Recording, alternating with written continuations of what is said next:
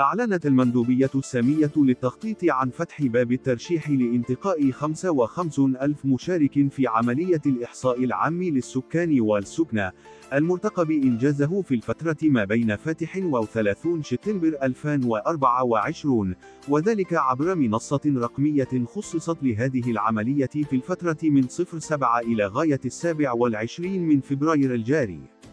ويمكن للأشخاص البالغين من العمر 20 سنة على الأقل في فاتح يناير 2024 تقديم طلب ترشيحهم للمشاركة كباحثين أو كمراقبين أو كمشرفين جماعيين في عملية الإحصاء العام للسكان والسكن المقرر إجراؤه في شتنبر 2024 شروط أن يتوفروا على بكالوريا وسنتين بإحدى الجامعات أو مؤسسات التكوين المهني.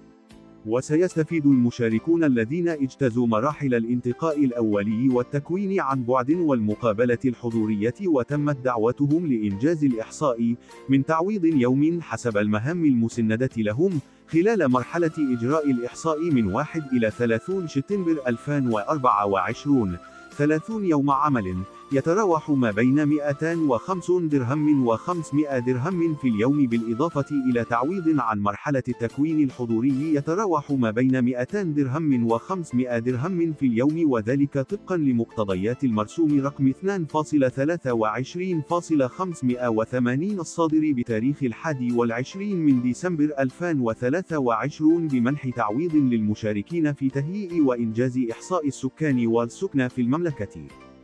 وسيكلف المشاركون بتجميع المعطيات لدى الأسر بمناطق الإحصاء التي تشمل في المتوسط بين 220 و 300 أسرة، ومراقبة جودة المعطيات على مستوى ثلاثة أو أربع مناطق إحصاء وكذا تأطير ومراقبة وتتبع فريق العمل، وتنظيم العمل في الميدان وتتبع سير الأشغال على مستوى منطقة الإشراف التي تتكون في المتوسط من حوالي 13 منطقة مراقبة و40 منطقة إحصاء.